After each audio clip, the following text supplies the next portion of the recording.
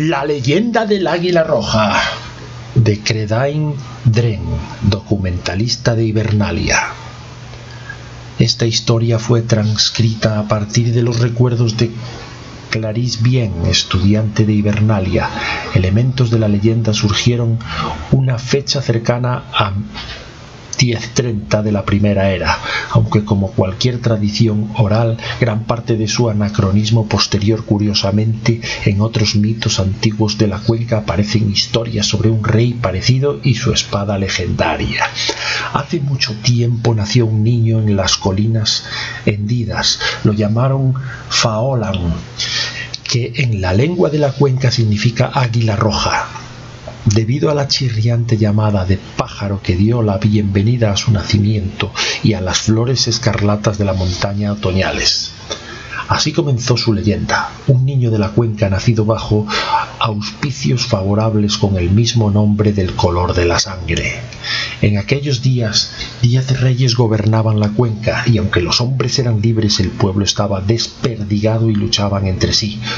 Los augurios predijeron el destino del chico, un guerrero sin igual, primero y más destacado señor de la cuenca, elegido para unirnos a todos bajo su nombre. Faulan creció igual que hizo su fuerza y parecía que la profecía se iba a cumplir. La bandera del águila roja fue izada a lo largo de la cuenca y su pueblo prosperó. Entonces llegó Estra, emperatriz del sur, cabalgando hacia la guerra. Uno por uno los reyes le plantaron cara, uno por uno, uno por uno fueron cayendo, doblegados con tantos imperiales o siendo asesinados en el campo de batalla. Sus legiones llegaron por fin a las colinas hendidas y se enviaron mensajes para negociar la rendición.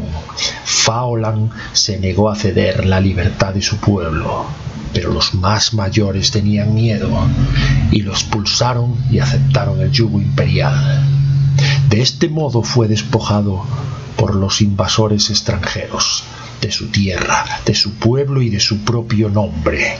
En los años que siguieron Águila Roja llegó a ser conocido como el espíritu indomable de la cuenca, indoblegable, inquebrantable, manchando la sangre de sus enemigos reunió a hombres de la cuenca que le eran leales, aquellos que se aferraron a las viejas costumbres que anhelaban la libertad, y formaron una nueva nación.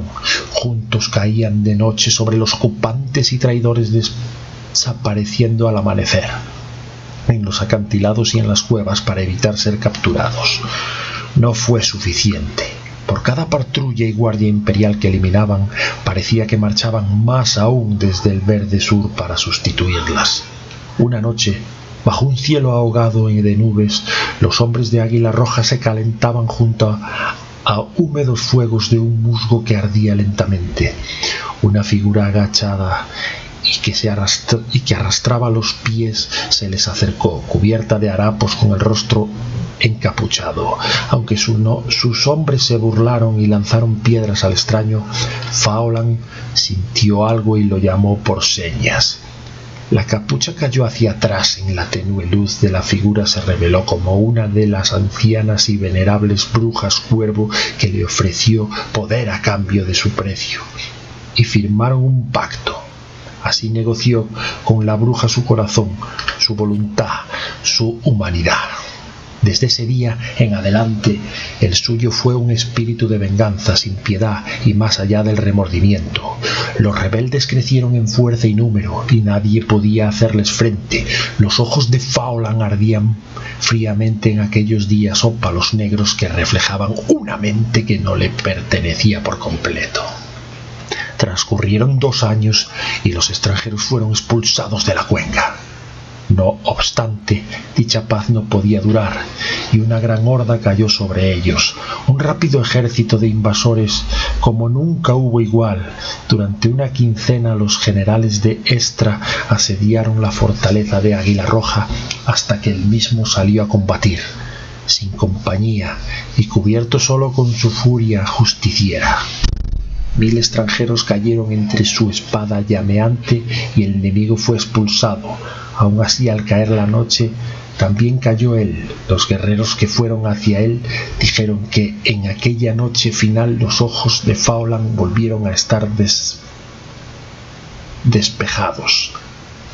Fue llevado hasta el lugar que le habían preparado una tumba escondida en las profundidades de la roca.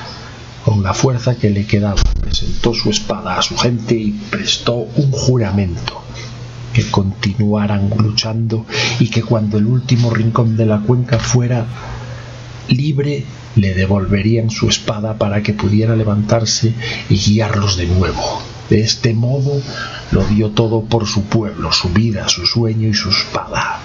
Pero cuando todas las deudas sean pagadas, su sangre volverá a reclamarlos por una vez más. Bueno, y esta es la leyenda del águila roja. Y aquí va a quedarse este episodio. Espacio para ranura de arma.